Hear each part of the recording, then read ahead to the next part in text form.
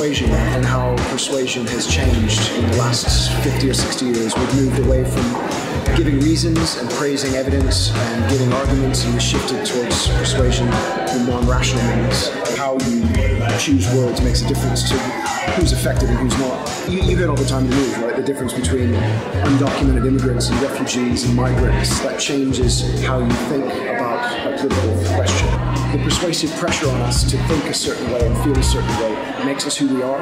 And so I think we've got an obligation to work out what principles are ours and what principles have been sort of nudged into us or framed. Uh, and then we can be individuals who live lives that are authentic rather than just you know, going along with what your culture says.